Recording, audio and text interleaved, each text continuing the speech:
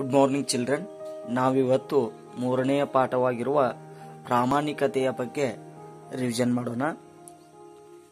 ಇದು ಬಹಳ ಸೊಗಸಾಗಿರುವಂತಹ ಕತೆ. ಎಲ್ಲರೂ ಗಮನವಿಟ್ಟು ಆಲಿಸಿ. ಶೇಖರ ಒಬ್ಬ ಮುಗ್ಧ ಪ್ರಾಮಾಣಿಕ ಮನುಷ್ಯ. ಅವನು ಬಹಳ ಬಡವನಾಗಿದ್ದನು. ದಿನವೆಲ್ಲ ಕಾಡಿನಲ್ಲಿ ಸೌದೆ ಕಡಿಯುತ್ತಿದ್ದನು. ಸಂಜೆಯಾದ ಮೇಲೆ ಕಡಿದ ಸೌದೆಯನ್ನೆಲ್ಲ ಹೊರೆ ಕಟ್ಟಿ ಪೇಟೆಗೆ ತೆಗೆದುಕೊಂಡು ಹೋಗುತ್ತಿದ್ದನು.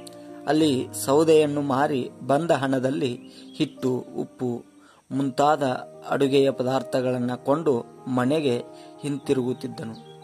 ಅವನಿಗೆ ತನ್ನ ಪರಿಶ್ರಮದ ಸಂಪಾದನೆಯಲ್ಲಿ ತೃಪ್ತಿ ಇತ್ತು. ಒಂದು ದಿನ ಶೇಖರ ಸೌದೆ ಕಡಿಯಲು ಕಾಡಿಗೆ ಹೋದನು. ಎಲ್ಲಿಗೆ? ಕಾಡಿಗೆ ಹೋದನು. ಅಲ್ಲಿ ನದಿಯ ದಡದಲ್ಲಿದ್ದ, ದಡ ಅಂತಂದ್ರೆ ತೀರ, ನದಿಯ ತೀರದಲ್ಲಿದ್ದಂತಹ ಒಣಗಿದ ಮರದ ರೆಂಬೆಯನ್ನು ಕಡಿಯಲು. ಏನನ್ನೋ? ಒಣಗಿದ ಮರದ ರೆಂಬೆಯನ್ನು ಕಡಿಯಲು ಮರವನ್ನು ಏರಿದನು. ರೆಂಬೆಯನ್ನು ಕಡಿಯುತ್ತಿರುವಾಗ ಅವನ ಕೊಡಲಿ ಕೈ ಜಾರಿ ನದಿಗೆ ಬಿದ್ದು ಹೋಯಿತು. ಶೇಖರ ಮರದಿಂದ ಇಳಿದು ಅನೇಕ ಸಾರಿ ನದಿಯೊಳಗೆ ಮುಳುಗಿ ಕೊಡಲಿಯನ್ನು ಹುಡುಕಿದನು. ಆದರೆ ಅದು ಸಿಗಲಿಲ್ಲ. ಅವನು ದುಃಖಿತನಾಗಿ ತಲೆಯ ಮೇಲೆ ಕೈ ಹೊತ್ತು ನದಿಯ ದಡದಲ್ಲಿ ಕುಳಿತನು. ಅವನ ಕಣ್ಣುಗಳಿಂದ ನೀರು ಸುರಿಯುತ್ತಿತ್ತು. ಇನ್ನೊಂದು ಕೊಡಲಿಯನ್ನು ಕೊಳ್ಳಲು ಅವನ ಹತ್ತಿರ ಹಣವಿರಲಿಲ್ಲ. ಕೊಡಲಿ ಇಲ್ಲದೆ ಅವನು ತನ್ನ ಪರಿವಾರದ ಜನರ ಹೊಟ್ಟೆ ತುಂಬಿಸಲು ಏಕೆ ಸಾಧ್ಯ? ಆದ್ದರಿಂದ ಅವನು ಚಿಂತೆಯಿಂದ ದುಃಖಿತನಾಗಿ ಕುಳಿತಿದ್ದನು. ಕಾಡಿನ ದೇವತೆಗೆ ಶೇಖರನ ಮೇಲೆ ದಯೆ ಬಂದಿತು. ಯಾರಿಗೆ ಶೇಖರನ ಮೇಲೆ ದಯ ಬಂದಿತು ಅಂದ್ರೆ ಕಾಡಿನ ದೇವತೆಗೆ ಶೇಖರನ ಮೇಲೆ ದಯ ಬಂದಿತು. ಅವಾಗ ಕಾಡಿನ ದೇವತೆ ಶೇಖರನ ಮುಂದೆ ಕಾಣಿಸಿಕೊಂಡು ಹೇಳಿದಳು, ಅಯ್ಯ, ನೀನು ಏಕೆ ಅಳುತ್ತಿರುವೆ? ಶೇಖರ ಆ ದೇವತೆಗೆ ನಮಸ್ಕರಿಸಿ ಹೇಳಿದನು, ನನ್ನ ಕೊಡಲಿಯು ನೀರಿಗೆ ಬಿದ್ದು ಹೋಯಿತು. ನಾನು ಈಗ ಸೌದೆ ಹೇಗೆ ಕಡಿಯಲಿ? ನನ್ನ ಹೆಂಡತಿ ಮಕ್ಕಳನ್ನು ಹೇಗೆ ಸಾಕಲಿ? ಅವಾಗ ಕಾಡಿನ ದೇವತೆ ಹೇಳಿದಳು, ಅಳಬೇಡ, ನಾನು ನಿನ್ನ ಕೊಡಲಿಯನ್ನು ತೆಗೆದುಕೊಡುತ್ತೇನೆ.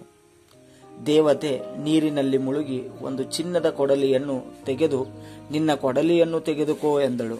ಆಗ ಶೇಖರನು ಆ ಕೊಡಲಿಯನ್ನು ನೋಡಿ, ಇದು ಯಾರೋ ಶ್ರೀಮಂತರ ಕೊಡಲಿ ಇರಬಹುದು. ನಾನು ಬಡವ, ನನ್ನ ಹತ್ತಿರ ಇಂತಹ ಕೊಡಲಿಯನ್ನು ಮಾಡಿಸಲು ಚಿನ್ನ ಎಲ್ಲಿಂದ ಬರಬೇಕು? ಈ ಚಿನ್ನದ ಕೊಡಲಿ ನನ್ನದಲ್ಲ ಎಂದು ಹೇಳಿದನು. ದೇವತೆಯು ಎರಡನೇ ಸಾರಿ ಮುಳುಗಿ ಒಂದು ಬೆಳ್ಳಿಯ ಕೊಡಲಿಯನ್ನು ತೆಗೆದು ಶೇಖರನಿಗೆ ಕೊಡಲು ಬಂದಳು. ಆಗ ಶೇಖರನು, ದೇವಿ, ನನ್ನದು ದುರದೃಷ್ಟ. ತಾವು ನನಗಾಗಿ ಬಹಳ ಕಷ್ಟ ತೆಗೆದುಕೊಂಡಿದ್ದೀರಿ. ಆದರೆ ನನ್ನ ಕೊಡಲಿ ಸಿಕ್ಕಲಿಲ್ಲ.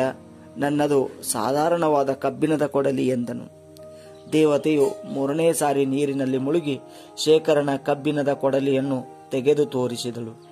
ಆಗ ಅವನು ಅತ್ಯಂತ ಸಂತೋಷಗೊಂಡನು. ತನ್ನ ಕೃತಜ್ಞತೆಯನ್ನು ತನ್ನ ಕೃತಜ್ಞತೆಯನ್ನು ಅರ್ಪಿಸುತ್ತಾ ತನ್ನ ಕೊಡಲಿಯನ್ನ ತೆಗೆದುಕೊಂಡನು. ದೇವತೆಯು ಶೇಖರನ ಸತ್ಯವಚನಕ್ಕೂ ಪ್ರಾಮಾಣಿಕತೆಗೂ ಮೆಚ್ಚಿ, ನಾನು ನಿನ್ನ ಸತ್ಯತೆಗೆ ಸಂತೋಷಗೊಂಡಿದ್ದೇನೆ. ನೀನೇ ಈ ಎರಡೂ ಕೊಡಲಿಗಳನ್ನು ತೆಗೆದುಕೋ ಎಂದು ಹೇಳಿದಳು. ಅಂದರೆ ಚಿನ್ನದ ಮತ್ತು ಬೆಳ್ಳಿಯ ಎರಡೂ ಕೊಡಲಿಗಳನ್ನು ಶೇಖರನಿಗೆ ಕಾಡಿನ ದೇವತೆ ಕೊಡುತ್ತಾಳೆ. ಚಿನ್ನದ ಮತ್ತು ಬೆಳ್ಳಿಯ ಕೊಡಲಿಗಳನ್ನು ಪಡೆದ ಶೇಖರನು ಬಹಳ ಶ್ರೀಮಂತನಾದನು. ಪ್ರಿಯ ವಿದ್ಯಾರ್ಥಿಗಳೇ, ಮನುಷ್ಯನಲ್ಲಿ ಪ್ರಾಮಾಣಿಕತೆ ಇದ್ದರೆ ಅದಕ್ಕೆ ತಕ್ಕದಾದಂತಹ ಫಲ ಸಿಕ್ಕೇ ಸಿಗುತ್ತದೆ ಅನ್ನೋದನ್ನ ನಾವು ಈ ಕಥೆಯಿಂದ ತಿಳಿದುಕೊಳ್ಳಬಹುದಾಗಿದೆ. ಈಗ ಇದರ ಅಭ್ಯಾಸವನ್ನ ಚರ್ಚಿಸೋಣ. ಅದರಲ್ಲಿ ಮೊದಲನೆಯದು, ಒಂದು ವಾಕ್ಯದಲ್ಲಿ ಉತ್ತರಿಸಿರಿ. ಇದರಲ್ಲಿ ಮೊದಲನೇ ಪ್ರಶ್ನೆ ಶೇಖರನು ಎಂತಹ ಮನುಷ್ಯ? ಶೇಖರನು ಒಬ್ಬ ಮುಗ್ಧ ಪ್ರಾಮಾಣಿಕ ಮನುಷ್ಯ. ಎರಡನೇದು, ಅವನು ಏನು ಮಾಡುತ್ತಿದ್ದನು? ಅವನು ಕಾಡಿನಲ್ಲಿ ಸೌದೆ ಕಡಿಯುತ್ತಿದ್ದನು. ಮೂರನೇದು, ರೆಂಬೆಯನ್ನು ಕತ್ತರಿಸುವಾಗ ಏನಾಯಿತು? ರೆಂಬೆಯನ್ನು ಕತ್ತರಿಸುವಾಗ ಕೊಡಲಿ ಕೈ ಜಾರಿ ನದಿಗೆ ಬಿದ್ದು ಹೋಯಿತು. ನಾಲ್ಕನೇದು, ಶೇಖರನ ಮೇಲೆ ಯಾರಿಗೆ ದಯ ಬಂದಿತು? ಶೇಖರನ ಮೇಲೆ ಕಾಡಿನ ದೇವತೆಗೆ ದಯ ಬಂದಿತು. ದೇವತೆ ಮೊದಲು ಯಾವ ಕೊಡಲಿಯನ್ನು ತಂದುಕೊಟ್ಟಳು? ದೇವತೆ ಮೊದಲು ಚಿನ್ನದ ಕೊಡಲಿಯನ್ನು ತಂದುಕೊಟ್ಟಳು. ಶೇಖರಣ ಪ್ರಾಮಾಣಿಕತೆಗೆ ಮೆಚ್ಚಿದ ದೇವತೆ ಅವನಿಗೆ ಏನು ಕೊಟ್ಟಳು? ಶೇಖರಣ ಪ್ರಾಮಾಣಿಕತೆಗೆ ಮೆಚ್ಚಿದ ದೇವತೆ ಅವನಿಗೆ ಚಿನ್ನದ ಮತ್ತು ಬೆಳ್ಳಿಯ ಎರಡೂ ಕೊಡಲಿಗಳನ್ನು ಕೊಟ್ಟಳು. ಎರಡನೇದು ಬಿಟ್ಟ ಸ್ಥಳಗಳನ್ನು ತುಂಬಿರಿ. ಇದರಲ್ಲಿ ಮೊದಲನೇದು, ಶೇಖರ ಬಹಳ ಡ್ಯಾಶ್ ನಾಗಿದ್ದನು. ಆಯ್ಕೆಗಳು ಬಡವ, ಶ್ರೀಮಂತ, ಮೂರ್ಖ. ಸರಿಯಾದ ಆಯ್ಕೆ, ಬಡವ. ಅಂದರೆ ಶೇಖರ ಬಹಳ ಬಡವನಾಗಿದ್ದನು. ಎರಡನೇದು, ಅವನಿಗೆ ತನ್ನ ಡ್ಯಾಶ್ ಸಂಪಾದನೆಯಲ್ಲಿ ತೃಪ್ತಿ ಇತ್ತು. ಆಯ್ಕೆಗಳು, ಪರಿಶ್ರಮದ ಪ್ರಾಮಾಣಿಕ ಮೋಸದ. ಸರಿಯಾದ ಉತ್ತರ, ಪರಿಶ್ರಮದ. ಅವನಿಗೆ ತನ್ನ ಪರಿಶ್ರಮದ ಸಂಪಾದನೆಯಲ್ಲಿ ತೃಪ್ತಿ ಇತ್ತು. ಮೂರನೇದು, ಡ್ಯಾಶ್ ಶೇಖರನ ಮೇಲೆ ದಯೆ ಬಂದಿತು. ಆಯ್ಕೆಗಳು, ಮರಗಳಿಗೆ, ಕೊಡಲಿಗೆ, ಕಾಡಿನ ದೇವತೆಗೆ. ಸರಿಯಾದ ಉತ್ತರ, ಕಾಡಿನ ದೇವತೆಗೆ. ಕಾಡಿನ ದೇವತೆಗೆ ಶೇಖರನ ಮೇಲೆ ದಯೆ ಬಂದಿತು. ನಾಲ್ಕನೇದು, ಎರಡನೇ ಸಾರಿ ಡ್ಯಾಶ್ ಕೊಡಲಿಯನ್ನು ತಂದು ಕೊಟ್ಟಳು. ಆಯ್ಕೆಗಳು, ಚಿನ್ನದ, ಬೆಳ್ಳಿಯ, ಕಬ್ಬಿಣದ, ಸರಿಯಾದ ಆಯ್ಕೆ, ಬೆಳ್ಳಿಯ. ಎರಡನೇ ಸಾರಿ ಬೆಳ್ಳಿಯ ಕೊಡಲಿಯನ್ನು ತಂದು ಕೊಟ್ಟಳು. ಐದನೇದು, ಪ್ರಾಮಾಣಿಕತೆ ಇದ್ದರೆ ಡ್ಯಾಶ್ ಉಂಟು. ಆಯ್ಕೆಗಳು, ಫಲ, ಹಣ, ಕೊಡಲಿ. ಸರಿಯಾದ ಉತ್ತರ, ಫಲ. ಪ್ರಾಮಾಣಿಕತೆ ಇದ್ದರೆ ಫಲ ಉಂಟು. ಮೂರನೇದು, ಮಾದರಿಯಂತೆ ಬರೆಯಿರಿ. ಮಾದರಿ, ಕೊಡಲಿ, ಕೊಡಲಿಗಳು. ಇದರಲ್ಲಿ ಮೊದಲನೇದು, ಮರ, ಮರಗಳು. ಎರಡನೇದು, ರೆಂಬೆ, ರೆಂಬೆಗಳು. ಮೂರನೇದು, ದೇವಿ, ದೇವಿಯರು. ನಾಲ್ಕನೇದು, ಜನ, ಜನರು. ಐದನೇದು, ಕೈ, ಕೈಗಳು. ಆರನೇದು, ಕಟ್ಟಿಗೆ, ಕಟ್ಟಿಗೆಗಳು. ನಾಲ್ಕನೇದು, ಮಾದರಿಯಂತೆ ಬಿಡಿಸಿ ಬರೆಯಿರಿ. ಮಾದರಿ, ಸಂಜೆಯಾದ ಸಂಜೆ ಪ್ಲಸ್ ಆದ. ಅದರಲ್ಲಿ ಮೊದಲನೇದು ಸೌದೆಯನ್ನು ಸೌದೆ ಪ್ಲಸ್ ಹಣ್ಣು. ಎರಡನೇದು ತೃಪ್ತಿ ಇತ್ತು. ತೃಪ್ತಿ ಪ್ಲಸ್ ಇತ್ತು. ಮೂರನೇದು ರೆಂಬೆಯನ್ನು ರೆಂಬೆ ಪ್ಲಸ್ ಹಣ್ಣು. ನಾಲ್ಕನೇದು ಕೊಡಲಿ ಇಲ್ಲದೆ. ಕೊಡಲಿ ಪ್ಲಸ್ ಇಲ್ಲದೆ. ಐದನೇದು ಚಿಂತೆಯಿಂದ. ಚಿಂತೆ ಪ್ಲಸ್ ಇಂದ.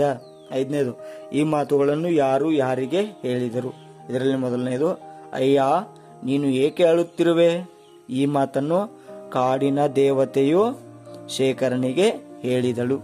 ಎರಡನೇದು, ಇದು ಚಿನ್ನದ ಕೊಡಲಿ ನನ್ನದಲ್ಲ. ಈ ಮಾತನ್ನು ಶೇಖರನು ಕಾಡಿನ ದೇವತೆಗೆ ಹೇಳಿದನು. ಮೂರನೇದು, ನೀನೇ ಈ ಎರಡೂ ಕೊಡಲಿಗಳನ್ನು ತೆಗೆದುಕೋ. ಈ ಮಾತನ್ನು ಕಾಡಿನ ದೇವತೆಯು ಶೇಖರನಿಗೆ ಹೇಳಿದಳು. ಇಲ್ಲಿಗೆ ಪ್ರಾಮಾಣಿಕತೆ ಪಾಠದ ಅಭ್ಯಾಸದ ಬಗ್ಗೆ ನಾವು ಚರ್ಚೆ ಮಾಡಿದ್ದೇವೆ. ಪ್ರಿಯ ವಿದ್ಯಾರ್ಥಿಗಳೇ, ಪ್ರಾಮಾಣಿಕತೆ ಪಾಠವನ್ನು ಮತ್ತು ಅದರ ಅಭ್ಯಾಸವನ್ನು ಸರಿಯಾಗಿ ಓದಿಕೊಂಡು ಪರಿಪೂರ್ಣರಾಗಿ ಎಲ್ಲರಿಗೂ ಶುಭವಾಗಲಿ.